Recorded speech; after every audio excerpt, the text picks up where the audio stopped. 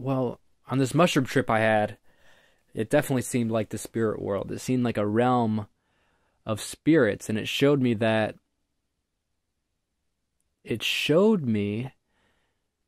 This is going to sound ridiculous, but it showed me that this, world is a delayed reaction of the spirit world.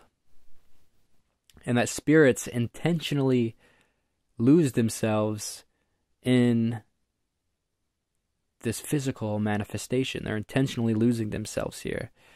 And that we have the choice to go back into oneness, but we like the community. We like the warmth of each other's energy. You know, we we don't want to merge back into oneness. I mean, no, there's no there's no even merging into oneness. You are essentially one by default. You can't merge into oneness because that kind of defeats the definition of oneness.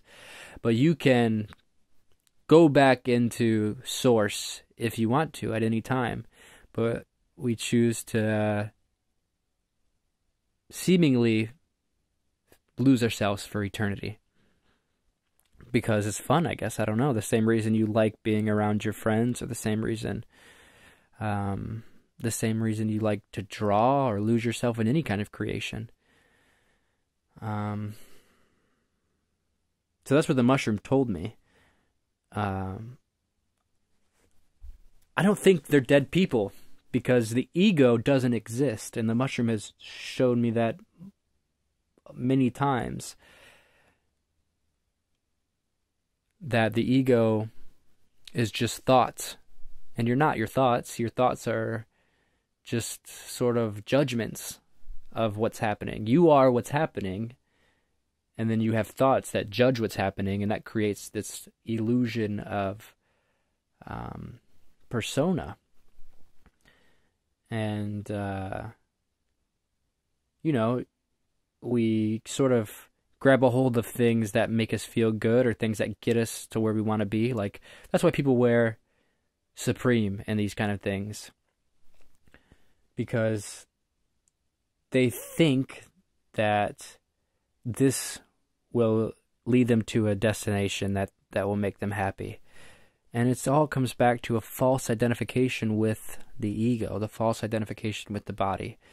We don't know who we are, so we attach ourselves to symbols.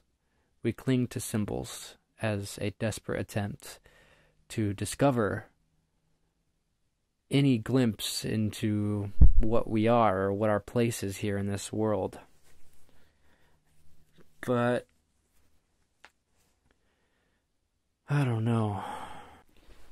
The beings are, I believe, as real as the beings in your dreams, and potentially even as real as the beings in your life. because, um, I mean, if you get into some of this, uh, the, and I, I mean, come on, I, I don't have any degree in this stuff, but if you get into some of this quantum physics and all this kind of stuff, it kind of shows it shows that there is something interesting happening. At the very least, I can say that it shows that something interesting is happening. How particles are existing in superstates or existing in a state of potential waiting to be realized. Or, um, I mean, certainly we know that this world, as I said, was a delayed reaction of the spiritual world. We understand that this world is the manifestation of some higher some higher world, some subtle world, some reality beyond the the reaches of what we can perceive. And we know that because they know that we're made up of atoms. And you can't see any of the atoms that make up our bodies. You can't see that you are actually a mosh pit of tiny particles spinning as solar systems spin you are a solar system of spinning things. And this is the realization of those spinning things, the visible, physical manifestation of tiny things. And um, I guess that could be the spiritual world, that non physical dimension and which makes up this physical, physical dimension. And I remember talking to the mushroom because um, my grandma just passed away. R.I.P. Grandma, miss you, love you. And um, I was worried about this. My grandma didn't die yet when I was taking the mushrooms, and the mushrooms they laughed at me basically and said, "Don't worry about her trip. That's her trip. She'll figure it out." You know, we have done this before, and you will figure this out over and over and over again as your grandma has. And um, but it showed me that you can actually communicate with energies in that dimension. These beings that you're talking to on DMT or mushrooms, or some people, you know, on ayahuasca, which is a form of DMT.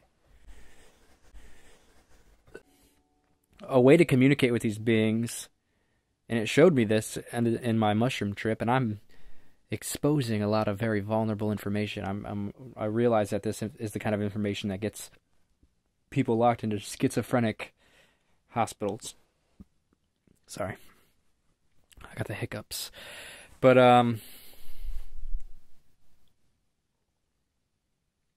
it showed me that geometry can help condense spiritual energy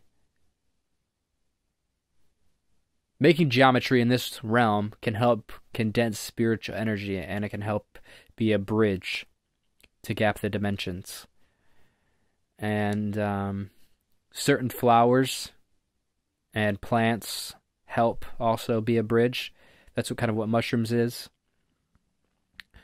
That's um I was shown the marigold Mexican flower is the the flower that they use for uh, Dia de la Muerte the Day of the Dead. Um, the flower that they used for that was shown to me in my mushroom trip as being a bridge to the spirit world. Um, Copal, which is a type of incense, was shown to help. Tobacco is another one that was shown to. And I don't know. This is just what the mushroom was telling me. and uh, I'm inclined to believe that we are tapping into the realm of the plants, the intelligence of the plants the ancestors. That's why I think they called it the, the realm of the ancestors because you know these plants and mushrooms have have been around for a long time. They have a deep history of uh, of of evolution, and um, I think that potentially you are tapping into that knowledge and maybe some kind of DNA communicate communication is happening or something, some kind of blend of of worlds. I don't know. I don't know what's happening. Um, you can definitely have demonic experiences for sure. Um, I had a friend who had a very hellish DMT trip where he was stuck in an infinite thought loop where he couldn't he couldn't get out of this loop. It was just a re You remember like um what's that movie? Doctor Strange where uh, Doctor Strange is just repeating the same moment over and over again to torture that demon. My friend was experiencing that, but except a demon was doing that to him. And I'm not sure if these are intelligences that are that are doing this to you on purpose or if this is just some kind of trauma or fear that you have and it's it's crystallizing itself because you're confronting it and you just can't surrender to it. So it just kind of builds and builds and builds. You know, it's like if you sit there and think about something, the anticipation builds and builds and builds and builds and manifests and crystallize. It can crystallize into a physical shake or physical anxieties to all these kind of things. You know, you're biting your nails, your legs are shaking. Could that be something like that? Could you just be manifesting a fear? Um, or or is it real? The shamans would say it was real. Um, I usually go with the idea that it's in your head. But I don't know. After this last this last mushroom trip, really shook me up and really um it's so direct. The voice of the mushroom is so direct, and it's so it's so um, not you. And I guess that's what schizophrenics say is that they can hear things in their heads that isn't them, and, that, and that's what it feels like. It feels like somebody is hijacking your inner speaker and um, it's like getting plugged in and downloaded for like an upgrade. And you have to invoke the voice of the mushroom if you want to communicate with it. That's why everyone doesn't have this experience, is because not always is ceremony important. It can happen without ceremony. It could just happen because the conditions are right and that's your karma. And uh, but if you want to have this experience, you have to invoke the voice of the mushroom. You have to invoke invo- invoke the voice of the spirits, the voice of the ancestors you know, this last mushroom trip really seemed like it really seemed like um, the kind of shit that you see in movies about magic and witchcraft. Like it showed me a lot of geometry and how geometry um, geometry is is um, useful in ceremony, which seems kind of I don't know. It seems kind of witchy and kind of Hollywood fake, but uh, it was showing me that the spirits the geometry is is helps. It helps be a bridge to the spirit world. I don't know. I don't know yeah the, the thing is is that um I'm not alone, and that's what's that's what also is very reassuring to me is that like this girl I was really happy to see that she had an experience in which she was talking about meeting them and that these voices and people were reassuring her that that things were going to be okay and they weren't using language but they were speaking to her through feelings and that has been my experience is that they talk to you it's like when you have a thought but you can't explain that thought but it's just a feeling that you know. It's like, fuck, I know it, but I just can't put it into words. They talk to you like that. That's how the voice communicates with you. And I've had it speak to me through an actual voice also, but it seems to be through symbols. And I mean, that's essentially what language is, is, is symbols.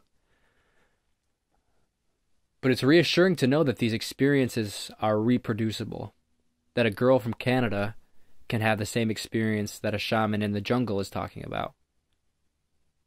Or that me that I'm talking about. And I don't know shit about this stuff. I'm only I'm I, I had these experiences and now I'm just trying to figure out how it was possible for me to have those experiences.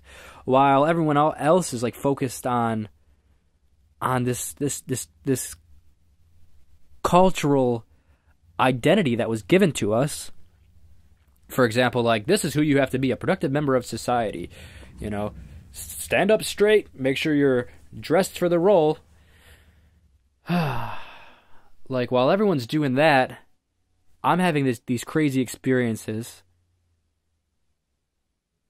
that other cultures, that these ancient cultures have been talking about, that our culture has written off as fairy tale. It's put me in a weird position because you can hardly talk about it. Uh, but it's reassuring. It's reassuring to see people like that, that that girl, that Canadian girl, having that experience. Um, it's nice, in a way, because it shows that um, this is interesting. At the very least, that you could have an experience that seems as real as this, and that leaves the question to what is reality? What is reality at that at that point? If I can have an experience through eating something that grows from the earth, if I can eat something and it puts me into another reality that seems as solid as this reality while I'm in it, just as much as I get lost in a dream or just as much as I'm lost in this physical world, what does that mean for reality? Where does that leave us? What does that say for consciousness? That consciousness is so faulty that reality can be stripping away and that you don't know what is real and what's not, where the boundaries of imagination and reality become